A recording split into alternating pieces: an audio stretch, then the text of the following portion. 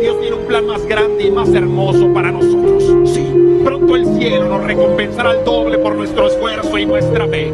Y que ese buen día, ese gran día con el que tanto hemos soñado, llegará. Hola amigos, ¿qué tal? Después de lo que fue el desarrollo de la pasada fecha FIFA de noviembre, la selección de México ya conoce su futuro en lo que respecta a los seis duelos que restan para culminar las eliminatorias con CACAF.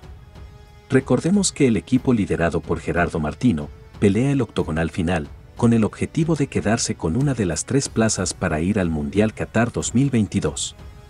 Repasando todo lo que aconteció en la última doble fecha que presentaron las clasificatorias mundialistas, lo cierto es que el Tri se llevó dos cachetazos en forma de derrota ante Estados Unidos, 2 a 0, y Canadá, 2 a 1. Restan seis juegos todavía en un certamen muy peleado hasta el momento. Hay que decir que la selección mexicana se encuentra en la tercera posición con 14 unidades, misma cantidad que el cuarto, Panamá, pero con mejor diferencia de gol para el Tri con 4 sobre 2. Por delante de ambos aparece Estados Unidos, 15, y el puntero Canadá con 16. Restan 18 puntos en juego, de los cuales Costa Rica se estaría quedando afuera por tener 5 menos que sus rivales más directos en la tabla. Justamente, los periodistas ticos analizaron su estadía en las eliminatorias con Los CACAF. mejores deseos para este 2022, que ojalá sea nuestro año mundialista. Ojalá, Andrei, sea nuestro año. No, a, a estas alturas no, pero estaban solicitando en la Federación Costarricense de Fútbol, lo que hay es un 60% que son 21 mil personas presentes en el Estadio Nacional. Lo que sí es un hecho es que estamos a 24 días de ver qué sucede con la selección nacional de nuestro país. Es decir, no podemos desligarnos de selección cuando en este mes se juega el partido más importante de la eliminatoria. Seguiditos son dos partidos más. Claro, Bueno, pero es que 27 Panamá, 30. después México y Jamaica. 30 a México y luego el 2 a Jamaica. Pero es que si en el primero nosotros no ganamos, Ni siquiera el empate sirve. no, no, No, es, no, que no, no, es ganar, ganar o ganar. Los otros dos ya prácticamente nos van montando en, en- en la posibilidad de estar Sí, sí, eliminados. eh, lamentable sería que el cierre de la eliminatoria sea de trámite para Costa Rica, porque si no le ganamos a Pan- Panamá, prácticamente sería un trámite. A Panamá y a Jamaica. Y a Jamaica que es recuperar los tres pu- puntos que no se ganaron aquí contra la misma selección jamaica. No, y es que Panamá también ganó 3 por 0 en Jamaica. Por eso. Bueno, primero vamos por el paso a paso. El primer paso es el de Panamá. Pero y no es el más 5 puntos la diferencia. y no si es Costa el- Rica gana, queda 2. y no, no es el más fácil para mí, porque yo hoy podemos hablar de Jamaica, ese, ese es, pero para mí hoy es Panamá. Panamá. Si, si nosotros no pasamos a Panamá, todo lo que pase después de eso ya es, ya es de Sí, poco Si, interés. si Panamá nos gana es prácticamente decirle ya adiós a la Copa del Mundo. Así de fácil. Eh, bajo la estadística. Si Panamá gana o empata aquí, el empate también nos pone en, un- en Sí, una posición horrible. agotan las jornadas. Nos Claro. van agotando el, el- Que-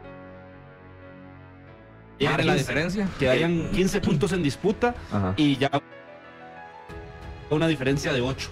Es decir, sería prácticamente imposible lograr. 8, sí, si nos ganan.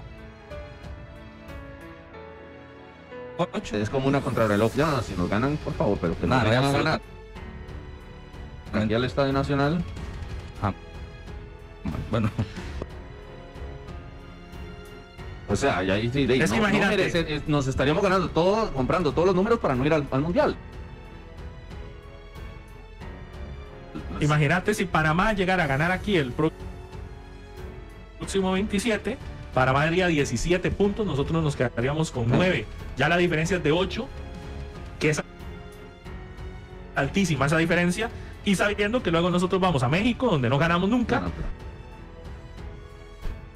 ni con la mejor versión de la selección de Costa Rica.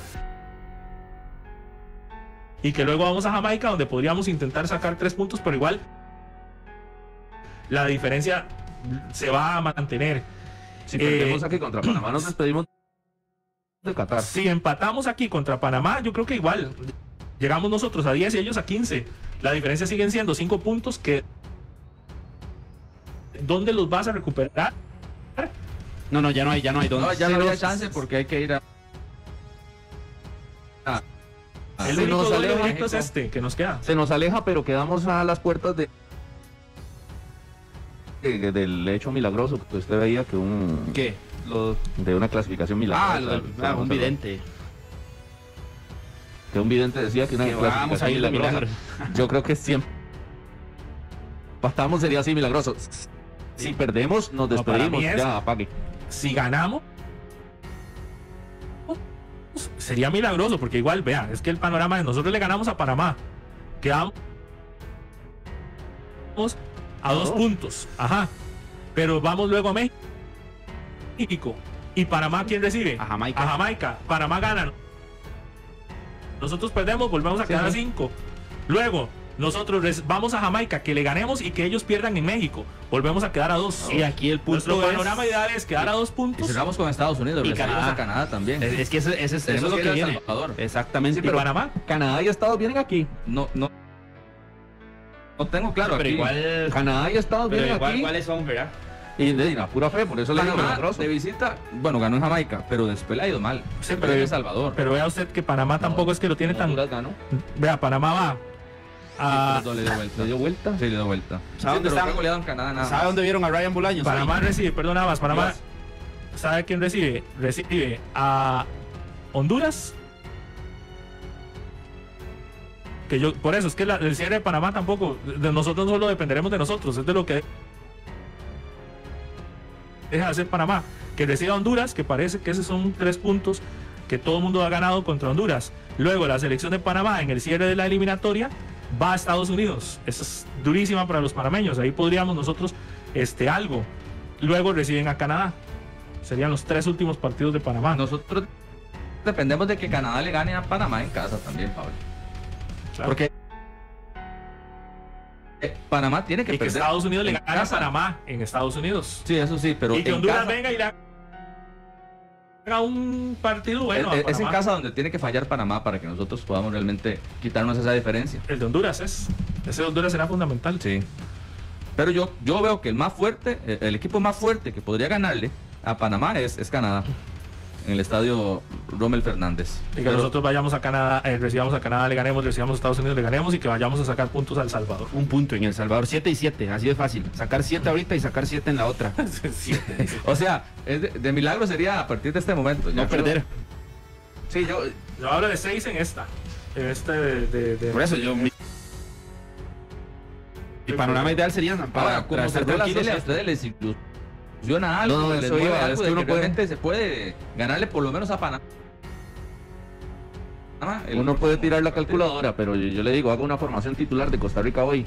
Hágala, hágala, así. No, Hoy. no. y con el problema Hoy, después de las vacaciones. Sí, con el Hoy, problema hágala. de que apenas vienen pues integrándose otra vez los, No, los no, pero, muchachos eso que- y los pero de la lo que MLS. que dice Rodolfo hoy es imposible para Ahorita hacer una... una- En cambio, usted agarra a Panamá. Y Christensen la tiene clara. Em, Estados Unidos la tiene más Canadá. que clara. Todos los equipos, todos los, Canadá, todas las bueno. selecciones tienen un equipo claro. Nosotros no. Hasta Honduras que pierde. ¿Sabe cuál es su equipo? Nosotros no. Antes de irnos, eso de Ryan Bolaños en el Saprisa. Está antivaso. Imagínese, imagínese. Está en el estadio.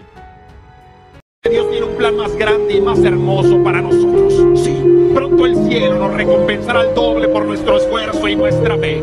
Y que ese buen día, ese gran día con el que tanto hemos soñado, llegará.